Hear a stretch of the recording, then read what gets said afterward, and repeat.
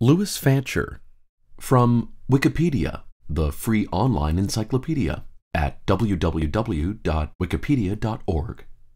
Louis Delton Fancher, born December 25, 1884, died March 2, 1944, was an American artist and illustrator, notable for his drawings that appeared in books, in magazines, and on propaganda posters during World War I.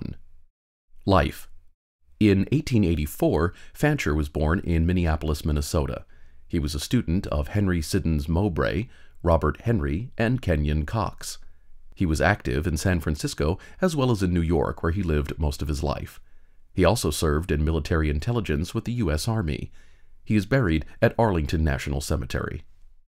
Notable works Fancher illustrated two books of humorous maxims by Gelett Burgess, The Maxims of Methuselah and The Maxims of Noah. He also created well-known propaganda and recruitment posters for the aviation section of the United States Army Signal Corps and the Committee on Public Information. Two of his oil paintings were Price 10 Cents, which had a winter sleigh theme, and Moving Lumber, which followed an exotic theme with an elephant carrying a tree trunk through a jungle. He also created postcards for automobile companies, including Pierce Arrow Motor Car Company and Packard.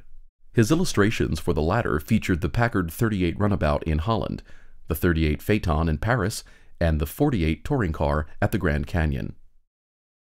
This audio was recorded on November 11, 2018. To report an error or request a change, please send an email to wikiaudio999 at gmail.com.